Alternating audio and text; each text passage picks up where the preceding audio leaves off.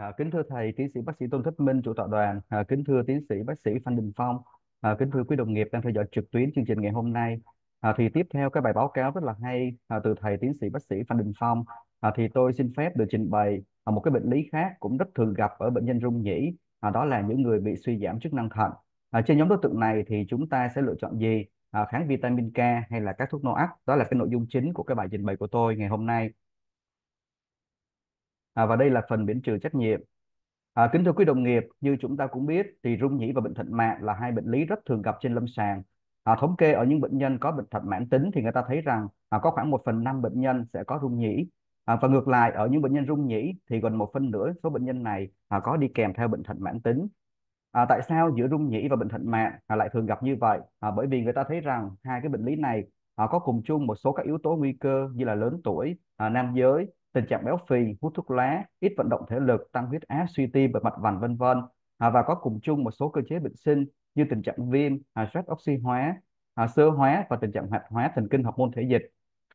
Và người ta cũng thấy rằng bệnh nhân rung nhĩ à, sẽ tạo điều kiện thuận lợi cho sự phát triển và tiến triển của bệnh thận mạn. À, và ngược lại, cái tần suất rung nhĩ cũng tăng lên à, khi mà chức năng thận của bệnh nhân bị suy giảm. À, và đây là kết quả công trình nghiên cứu về rung nhĩ tại Việt Nam à, của thầy Tôn Thất Minh và một số thầy à, trong nước thì chúng ta cũng thấy rằng à, đâu đó thì cái tỷ lệ à, bị suy thận à, ở dân số người Việt Nam của mình thì nó cũng tương đồng à, như là trong cái dân số chung trong các thử nghiệm ICT à, tức là bệnh thận mạn thì nó chiếm cái tỷ lệ khoảng 1 phần 5 à, khoảng 1 phần 5 những bệnh nhân bị rung nhĩ.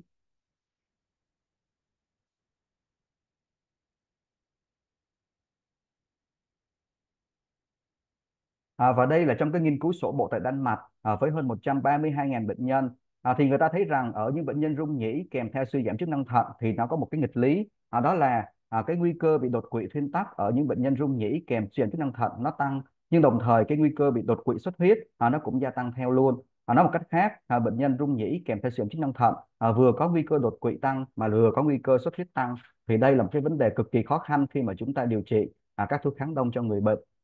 À, và người ta cũng thấy rằng khi cái độ lọc cầu thận của bệnh nhân nó càng giảm á, à, thì các biến cố tim mạch và đặc biệt là biến cố tử vong nó càng gia tăng. À, khi mà độ lọc cầu thận của bệnh nhân à, mà dưới à, 50 lít trên phút thì chúng ta thấy rằng là cái tỷ lệ tử vong bệnh biến cố tim mạch đã tăng lên rất là rõ rệt à, qua các công trình nghiên cứu chung. À, và có một thực tế đó là cái việc sử dụng các thuốc kháng vitamin K à, ở những bệnh nhân suy thận giai đoạn cuối để phòng ngừa đột quỵ do bệnh nhân rung nhĩ thì không cho thấy làm giảm có ý nghĩa thống kê nguy cơ đột quỵ tắc mạch à, nhưng mà làm tăng đến 46% cái nguy cơ bị đột quỵ xuất huyết. À, và vì vậy thì chúng ta trở lại các công trình nghiên cứu lâm sàng, thử nghiệm lâm sàng pha 3 à, thì người ta thấy rằng trong bốn công trình nghiên cứu chính Rocket AF, Avistone, Engage và Rely thì người ta thấy rằng là à, cái tỷ lệ bị suy thận à, trong các nghiên cứu này ở đâu đó dao động khoảng từ 15 đến 20%. À, trong đó thì Rocket AF là thử nghiệm lâm sàng có tỷ lệ bệnh nhân suy thận cao nhất à, chiếm đến 21%. À, và khi phân tích à, cái vai trò của các thuốc NOAC nói chung so sánh với warfarin à, trên những bệnh nhân có mức lọc cầu thận khác nhau à, dưới 50, từ 50 đến 80 à, và trên 80 lít trên phút thì người ta thấy rằng à, các thuốc NOAC đều có hiệu quả trong việc làm giảm đột quỵ tắc mạch hệ thống à, khi mà so sánh với warfarin à, đồng thời không làm gia tăng nguy cơ xuất huyết à, ở các mức lọc cầu thận khác nhau. À, thậm chí ở đây chúng ta thấy rằng với bệnh nhân có mức lọc cầu thận dưới 50 lít trên phút thì có vẻ như là lợi ích của các thuốc NOAC nó còn vượt trội hơn là so với kháng vitamin K. À, mặc dù là cái sự khác biệt này là chưa có thống kê à, và đây là một công trình nghiên cứu vừa được công bố thời gian gần đây năm 2022 nghiên cứu Combine AF à, thì nghiên cứu này người ta phân tích gộp à, các à, các thuốc kháng đông NOAC à, và người ta thấy rằng à, có một cái mối tương quan à, giữa suy giảm chức năng thận à, với lại các biến cố à, tim mạch đột quỵ thuyên tắc à, đột quỵ chảy máu và tử vong do mọi nguyên nhân à, của các thuốc NOAC khi mà so sánh với warfarin. À, thì chúng ta thấy rằng ở những bệnh nhân có lọc cầu thận à, dưới 80 à, ml trên phút thì chúng ta thấy rằng là cái nguy cơ bị đột quỵ tắc mạch hệ thống cũng như là nguy cơ tử vong do mọi nguyên nhân. Ở cái nhóm à, sử dụng NOAC à, nó à, ưu thế hơn so với dụng quả à, với chỉ số hazard ratio à, nó dưới một. À, và đồng thời chúng ta thấy rằng việc sử dụng NOAC à, so sánh với warfarin à, thì không làm gia tăng à, cái nguy cơ bị chảy máu nặng à, bất kể cái mức lọc cầu thận của bệnh nhân. À, và chính vì vậy à, mà trong các khuyến cáo hiện nay từ khuyến cáo 2020 à, của cái hội tim mạch châu Âu à, cũng như là khuyến cáo năm 2023 à, của hội tim mạch Hoa Kỳ mà tiến sĩ Phan Đình Phong vừa trình bày thì chúng ta thấy rằng trong vấn đề dự phòng đột quỵ ở những bệnh nhân rung nhĩ thì các thuốc NOAC là thuốc được ưu tiên chọn lựa hơn à, so với kháng vitamin K à, bất kể cái chức năng thận của người bệnh. À, tuy nhiên có một cái thực tế đó là tất cả các thuốc NOAC khi mà so sánh với kháng vitamin K à, thì hầu như là chúng ta được tiến hành ở những cái nhóm dân số à, có độ lọc cầu thận của bệnh nhân à, trên 30 đến trên phút à, tức là ở những bệnh nhân có chức năng thận bình thường hoặc là chức năng thận chỉ suy giảm mức độ trung bình đến nhẹ à, ngược lại ở nhóm suy thận mức độ nặng tức là độ 4 trở lên độ lọc cầu thận dưới 30 trên phút à, thì hiện nay thì chúng ta chưa có công trình nghiên cứu so sánh đối đầu giữa NOAC và kháng vitamin K. À, và kết quả của các công trình sổ bộ thì cho thấy rằng các thuốc kháng đông à, có một số nghiên cứu cho thấy làm giảm nguy cơ đột quỵ thêm tắc. À, nhưng có những nghiên cứu thì lại không cho thấy tình trạng như vậy. À, như vậy thì chúng ta rất cần à, phải có những cái bằng chứng mới à, trong các à, nghiên cứu thế giới thực để chúng ta thấy rằng cái hiệu quả của nhóm thuốc này à, cũng như an toàn nhóm thuốc này à, khi chúng ta sử dụng ở những bệnh nhân có mức lọc cầu thận giảm nặng.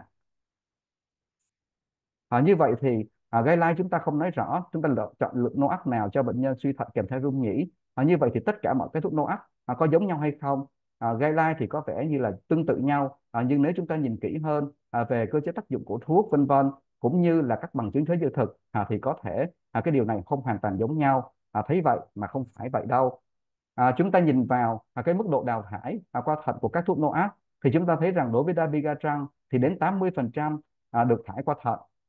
Ờ, à, endoxaban thì 50% rivaroxaban là 35% và apixaban là 25% à, ờ, và chính cái sự khác biệt về thải qua thận này à, nó sẽ quyết định cái nồng độ của các thuốc NOAC à, khi bệnh nhân có suy giảm chức năng thận. Ở đây chúng ta thấy khi sử dụng dabigatran ở những người có lọc cầu thận dưới 50 phút thì nồng độ dabigatran đã tăng gấp đôi. À, và nếu bệnh nhân suy thận nặng được lọc cầu thận dưới 30 à, thì nồng độ dabigatran tăng gấp 3 lần. À, trong khi đó các thuốc nô áp khác đặc biệt là các thuốc chống 10E như apixaban, endoxaban, rivaroxaban à, thì ở mức độ lọc cầu thận khác nhau chúng ta thấy là nồng độ của thuốc à, nó à, thay đổi không đáng kể. À, và chính vì vậy người ta nhìn vào các công trình nghiên cứu lâm sàng pha 3 so sánh đó các kháng vitamin K. À, thì chúng ta thấy rằng là duy nhất trong nghiên cứu đó các ES à, thì người ta đã thiết kế một cái liều chuyên biệt à, dành cho những bệnh nhân có suy giảm chức năng thận. À, đó là à, cái liều 15 mg ngày một lần cho những bệnh nhân có lọc cầu thận à, từ 30 đến à, 49 trên phút à, trong khi các NOAC còn lại à, thì người ta không có tiêu chuẩn chuyên biệt à, dành cho cái nhóm bệnh nhân có suy giảm chức năng thận. À, và khi phân tích trong phân tích các AF à, thì người ta thấy rằng à, cho dù Rivaroxaban à, sử dụng cái liều chuẩn à, tức là liều 20 mg ở những bệnh nhân có lọc cầu thận trên 50 hay sử dụng liều giảm tức là liều 15 mg ở những bệnh nhân có lọc cầu thận từ 30 đến 49 phút à, thì không có sự khác biệt à, về cái hiệu quả của NOAC à, Rivaroxaban khi mà so sánh với kháng vitamin K đồng thời người ta cũng thấy rằng cái nguy cơ bị chảy máu nặng à, chảy máu có nghĩa lâm sàng à, xuất huyết nội sọ à, cũng không có sự khác biệt giữa Rivaroxaban so sánh với warfarin à, bất kể cái chức năng thận à, của bệnh nhân. À, và đồng thời người ta ghi nhận rằng à, cái nguy cơ bị chảy máu mà gây tử vong à, ở cái nhóm sử dụng Rivaroxaban thì thấp hơn có ý nghĩa thống kê à, khi mà so sánh với warfarin à, và nếu mà chúng ta phân tích riêng trong cái nhóm bệnh nhân có chức năng thận xấu dần à, tức là những bệnh nhân ban đầu à, chức năng thận tốt nhưng mà trong quá trình điều trị à, theo thời gian chức năng thận bệnh nhân giảm dần à, thì trong các phân tích trên cái phân, à, phân nhóm này người ta thấy rằng à, Rivaroxaban giảm được đến 50% nguy cơ đột quỵ à, tắc mạch hệ thống À, tuy nhiên cái điều kết quả tương tự thì người ta không ghi nhận trong các thử nghiệm lâm sàng còn lại đối với Reline và Ariston. À, câu hỏi đặt ra đó là tại sao cái liều chuyên biệt cho bệnh nhân suy thận lại đóng vai trò quan trọng? À, bởi vì người ta thấy rằng à, thực tế một cái phân tích à, trên 3.000 à, gần 3.000 à, 4 6.400 bệnh nhân rung nhĩ tại châu Á, người ta thấy rằng cái rung à, suy giảm chức năng thận đó là một trong những nguyên nhân quan trọng à, khiến cho bác sĩ tự động giảm liều mà không theo khuyến cáo. À, với cái việc giảm liều như vậy thì bác sĩ hy vọng rằng sẽ làm giảm nguy cơ xuất huyết. À, nhưng kết quả lại cho thấy rằng à, cái nguy cơ xuất huyết khi mà chúng ta sử dụng cái liều giảm không theo khuyến cáo tức là không theo à, khuyến cáo của guideline cũng như là của nhà sản xuất à, thì à, nó không làm giảm cái nguy cơ xuất huyết. À, nhưng ngược lại à, việc sử dụng cái liều giảm không phù hợp à, sẽ làm gia tăng đáng kể cái nguy cơ bị đột quỵ thuyên tắc à, khi mà so sánh với warfarin. À, chính vì vậy à, guideline nhấn mạnh à, khi chúng ta sử dụng các thuốc NOAC à, chúng ta cần phải sử dụng theo đúng à, khuyến cáo của guideline cũng như là khuyến cáo của nhà sản xuất. À, ví dụ với Rivaroxaban thì cái tiêu chuẩn duy nhất để chúng ta sử dụng liều giảm à, đó là à, độ lọc cầu thận từ 15 đến 99 phút. À, đó là chúng ta dùng liều 15 mg ngày một lần. À, đối với dabigatran à, thì cái liều thấp à, sẽ được dùng cho những bệnh nhân à, khi lớn tuổi à, khi sử dụng một số các nhóm thuốc à, làm gia tăng nồng độ của dabigatran hoặc bệnh nhân có nguy cơ chảy máu cao. À, tương tự đối với abisaban à, thì liều giảm 2,5 nhân 2 à, khi bệnh nhân có 2 trên 3 tiêu chuẩn à, lớn tuổi cân nặng thấp hoặc là có creatinine trên 1.5 đối với endoxaban à, thì à, sử dụng cái liều thấp tức là liều 30 mg à, khi bệnh nhân có một trong ba cái vấn đề giảm độ lọc cầu thận à, cân nặng thấp hoặc sử dụng đồng thời à, với các thuốc khác à, như vậy chúng ta thấy rằng cái tiêu chuẩn giảm liều à, của các thuốc kháng đông còn lại à, thì nó khá là phức tạp. À, đối với Rosaban thì chỉ có duy nhất một cái tiêu chuẩn đó là à, liều giảm 15 dành cho những bệnh nhân có lọc cầu thận từ 15 đến 49 ml trên phút. À, và đây là khuyến cáo của Hội nhịp học châu Âu năm 2021 à, xuất phát từ những cái bằng chứng về dược động dược lực à, cũng như là kết quả từ các công trình nghiên cứu ICT à, người ta khuyến cáo rằng ở những bệnh nhân có lọc cầu thận trên 5 lít trên phút à, thì à, ưu tiên sử dụng các thuốc NOAC hơn so với kháng vitamin K. À, tuy nhiên ở những bệnh nhân có lọc cầu thận giảm từ 30 đến 50 lít trên phút à, thì à, chúng ta có thể sử dụng Rosaban, Endoxaban, Abisaban à, với liều giảm à, và à, cái việc sử dụng dabigatran thì trong trường hợp này vẫn có thể sử dụng tuy nhiên cần phải thận trọng. À, đối với lọc cầu thận dưới 30 lít trên phút thì được xem là chống chỉ định sử dụng dabigatran. À, đối với các nhóm thuốc NOAC còn lại như Riva, Endox hoặc là Abisaban à, thì có thể tiếp tục duy trì sử dụng à, khi độ lọc cầu thận xuống đến 15 ml trên phút à, nhưng mà phải thận trọng à, và à, EURA 2021 à, cho rằng ở những người có lọc cầu thận dưới 15 dưới trên phút thì được xem là chống chỉ định à, sử dụng các thuốc NOAC à, so sánh với à, các thuốc NOAC à, tuy nhiên cập nhật mới nhất năm 2023 à, của Hội Tim Hoa Kỳ truyền bốn tim Hoa Kỳ à, thì xuất phát những bằng chứng về dược động dược lực học của các thuốc NOAC à, thì người ta khuyến cáo rằng ở những bệnh nhân có lọc cầu thận dưới 15 trên phút hoặc thậm chí đang lọc thận nhân tạo à, thì hai cái nhóm thuốc có thể cân nhắc sử dụng trên nhóm thuốc này à, đó là Abisaban à, với cái liều 2,5 nhân 2 hoặc 5 nhân 2 hoặc là Rivaroxaban à, với cái liều 15 mg ngày một lần. À, trong khi Dabigatran và Endoxaban à, thì được xem là chống chỉ định ở những bệnh nhân có lọc cầu thận dưới 15 trên phút. À, thì điều này nó xuất phát từ cái sự thanh thải của hai cái nhóm thuốc này à, qua thận là ít nhất à, so sánh với các thuốc NOAC khác. À, và một vấn đề đặc biệt quan trọng khi mà chúng ta sử dụng các thuốc NOAC à, đó là mặc dù chúng ta không cần phải làm các xét nghiệm đông máu thường quy, à, tuy nhiên à, guideline cũng khuyến cáo chúng ta rằng à, chúng ta hàng năm à, cũng cần phải kiểm tra các xét nghiệm chức năng gan, à, chức năng thận à, cho à, bệnh nhân. À, đặc biệt đối với những người mà trên 75 tuổi đang sử dụng dabigatran hoặc là những bệnh nhân suy yếu thì người ta khuyến cáo rằng cứ mỗi 4 tháng chúng ta cần phải thử lại chức năng thận. À, đối với những bệnh nhân có độ lọc cầu thận giảm à, ngay từ đầu à, thì cái khoảng thời gian kiểm tra lại à, được tính đó là à, cái độ lọc cầu thận chia cho 10 à, ví dụ như bệnh nhân có lọc cầu thận là 50 trên phút thì tối thiểu là 5 tháng chúng ta phải kiểm tra chức năng thận lại cho bệnh nhân một lần.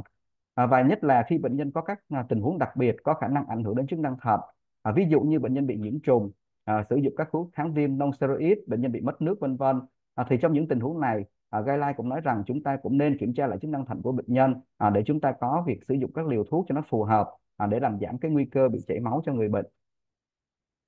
à, một câu hỏi nữa tiếp tục được đặt ra. À, đó là cái việc sử dụng kháng đông trong rung nhĩ kèm theo suy thận. À, thì liệu à, có dừng lại ở cái việc ngăn cản đột quỵ và giảm xuất huyết hay là không? À, thì đúng đây là cái hình kế bên chúng ta thấy rằng à, cái hình quả táo nhìn phía trước thì rất là đẹp à, nhưng ở phía sau à, nó là một cái sự thật rất là phũ phàng. À, như vậy có thể thấy rằng là mọi thứ thì dường như không phải như vậy nếu mà chúng ta nhìn kỹ hơn à, sâu hơn về bản chất của vấn đề. À, một trong những cái vấn đề khi chúng ta sử dụng kháng đông ở những bệnh nhân rung nhĩ kèm suy giảm chức năng thận à, đó là người ta thấy rằng à, bệnh nhân rung nhĩ à, theo thời gian thì có cái chức năng thận giảm dần. À, tỷ lệ tiến triển đến bệnh thận giai đoạn cuối ở những bệnh nhân rung nhĩ à, thì nó cũng cao hơn à, so với những người à, mà à, có nhịp xoang. À, và người ta cũng thấy rằng là cái à, nguy cơ chức năng thận xấu đi ở các mức độ khác nhau thì đều cao hơn ở những bệnh nhân à, có rung nhĩ so với những bệnh nhân không có rung nhĩ. À, và đi kèm với đó là cái tình trạng tử vong à, nó cũng gia tăng thêm. À, việc sử dụng các thuốc kháng viêm vitamin K à, được cho là nền tảng trong việc dự phòng đột quỵ thuyên tắc ở những bệnh nhân à, rung nhĩ kèm theo suy thận. À, tuy nhiên, à, trong các nghiên cứu quan sát, người ta thấy rằng à, cái việc sử dụng kháng vitamin K, à, đặc biệt trong thời gian dài, à, sẽ làm gia tăng có ý nghĩa thống kê à, cái nguy cơ bị giảm độ lọc cầu thận theo thời gian. À, và người ta cũng thấy rằng tình trạng vôi hóa mạch máu à, cũng gia tăng đáng kể à, khi chúng ta sử dụng kháng vitamin K kéo dài, à, đặc biệt là sau 5 năm. À, như vậy thì cái mục tiêu điều trị bệnh nhân rung nhĩ kèm theo suy giảm chức năng thận thì không chỉ là dự phòng đột quỵ mà chúng ta cần phải cố gắng tối đa à, bảo tồn chức năng thận của người bệnh. À, về cơ chế tại sao các thuốc kháng vitamin K lại gây vôi hóa mạch máu, lại làm tình trạng suy thận nặng hơn? À, người ta cho rằng các thuốc kháng vitamin K à, thông qua việc ức chế các vitamin K nó làm giảm tình trạng carboxin hóa MGP à, và đây là một cái chất nó sẽ thúc đẩy cái tình trạng tăng sinh mạch máu, à, tăng sinh di chuyển à, của các tế bào cơ trên mạch máu, à, lắng đọng canxi và từ đó dẫn đến vôi hóa thành mạch à, và dẫn đến tình trạng giảm, giảm thiếu máu à, thiếu máu thận à, cũng như là những cái vi xuất huyết xảy ra khi chúng ta sử dụng warfarin à, vượt quá cái ngưỡng điều trị vân vân. À, đối với các thuốc NOAC à, thì có cơ chế tác động hoàn toàn là khác biệt trên tế bào cơ trên mạch máu. À, nó thông qua quá trình ức chế hoạt hóa thụ thể protease. À, từ đó làm giảm tình trạng tân sinh à, di chuyển tế bào giảm stress oxy hóa giảm tình trạng tái cấu trúc mạch máu. À, và về mặt lý thuyết à, thì các thuốc nô áp nó có hiệu quả trong vấn đề bảo vệ mạch máu à, chống lại tình trạng vôi hóa cũng như là sơ vữa à, và khi phân tích trong nghiên cứu Rocket AF à, Rely và Ariston à, người ta cũng thấy rằng ở cái nhóm bệnh nhân được sử dụng à, các thuốc nô áp như Rosaban hoặc là Dabigatran à, thì người ta thấy rằng cái độ lọc cầu thận giảm dần theo thời gian à, nó thấp hơn có ý nghĩa thống kê à, khi mà so sánh với cái nhóm sử dụng warfarin.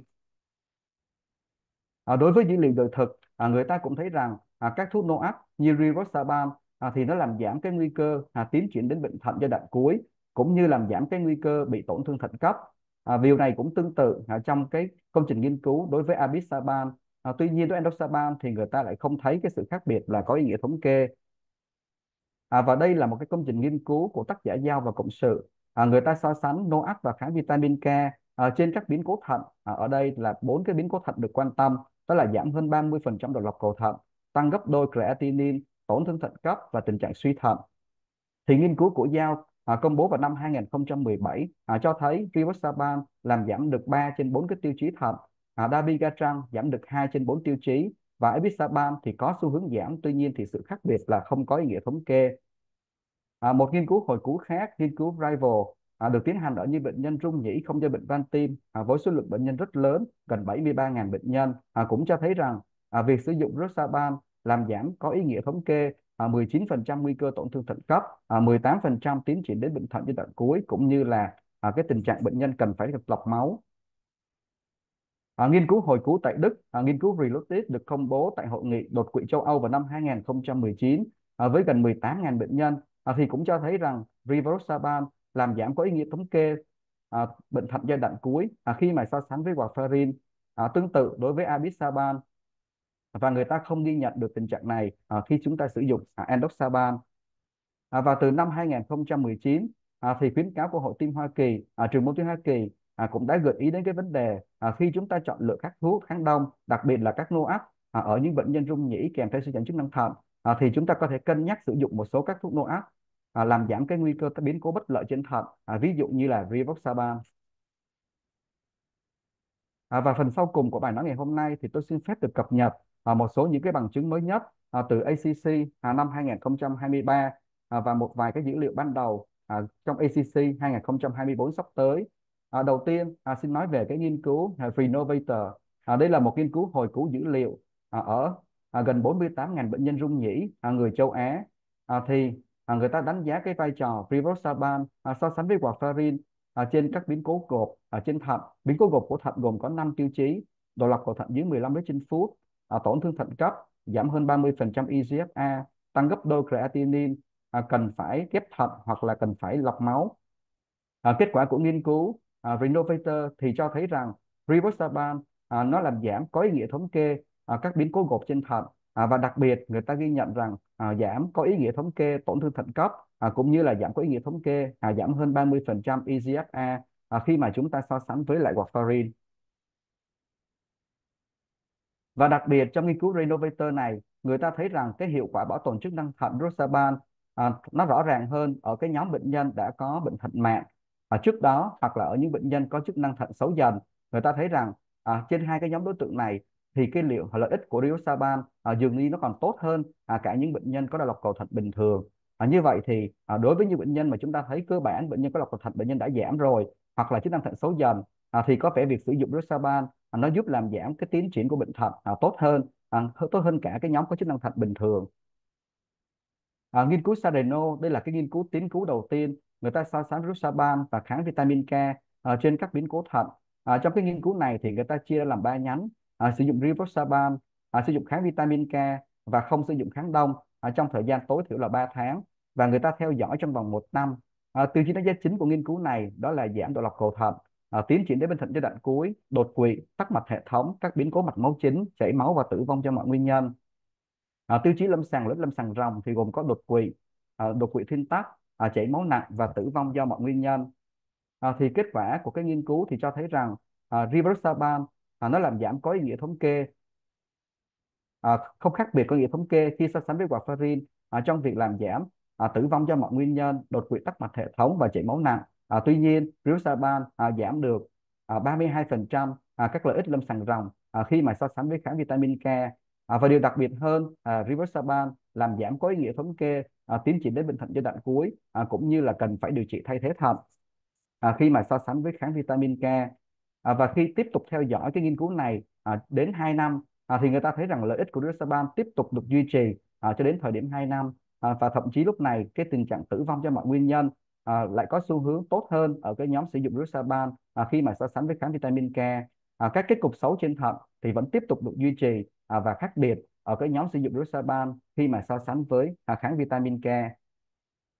À, và cuối cùng à, thì tôi xin phép được trình bày à, sơ lược à, về một cái công trình phân tích gộp à, sắp tới sẽ được công bố tại à, Hội nghị tim mạch Hoa Kỳ à, năm 2024 tới đây. Đó là nghiên cứu à, Restore à, nghiên cứu này đặc biệt ở, ở một cái chỗ là nó được thực hiện ở một nhóm tác giả. À, trong đó chúng ta thấy là có thầy Tôn Thích Minh có thầy Phan Đình Phong à, và một số các thầy trong Hội nhịp học Việt Nam. À, thì đây là một cái phân tích gộp à, và tổng quan hệ thống. À, người ta à, thu thập dữ liệu từ 14 thử nghiệm lâm sàng với hơn 400.000 bệnh nhân à, được đưa vào về trong phân tích à, đánh giá vai trò của Doxaban so sánh với kháng vitamin K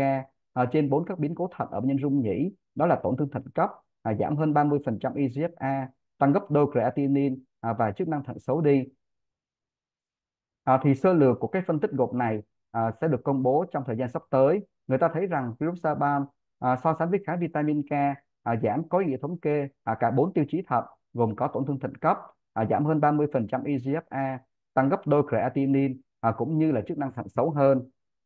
À, và khi phân tích trên cái phân nhóm bệnh nhân đã có chức năng thận xấu ngay từ đầu à, thì người ta thấy rằng lợi ích của cái nhóm Rivaroxaban so sánh với kháng vitamin K hoàn toàn là tương tự ở những bệnh nhân có chức năng thận bình thường à, nói một cách khác Rivaroxaban giúp làm giảm được tổn thương thận cấp à, giảm chức năng thận nhiều hơn tăng gấp đôi creatinine cũng như là chức năng xấu đi ở cái nhóm bệnh nhân có chức năng thận ban đầu à, suy giảm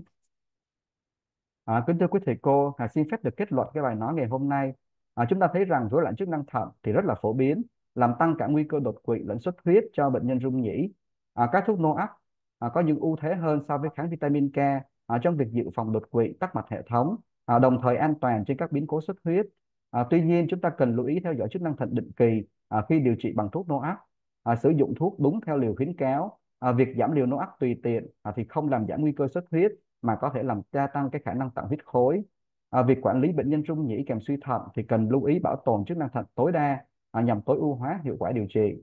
À, và ngày càng có nhiều bằng chứng đời thực bổ sung dữ liệu còn thiếu trong các thử nghiệm lâm sàng của NOAC ở trên các đối tượng bệnh nhân rung nhĩ à, kèm theo bệnh lý thận mạng.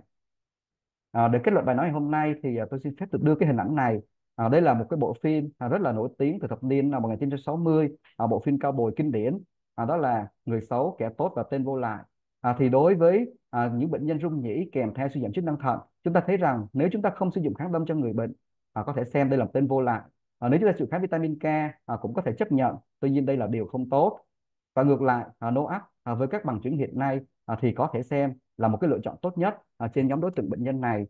À, và nói theo cách nói của Jerome á, thì người bác sĩ của mình à, thì sẽ không bao giờ à, đứng yên. À, chúng ta sẽ lựa chọn à, tiếp tục lựa chọn cho đến khi cái tốt của mình trở thành tốt hơn. À, và cái tốt hơn của mình thì trở thành tốt nhất. À, xin trân trọng cảm ơn sự theo dõi và quý thầy cô và quý đồng nghiệp. À, xin cảm ơn thạc sĩ Lương Cao Sơn đã cho chúng ta bài báo cáo rất đầy đủ chi tiết và cập nhật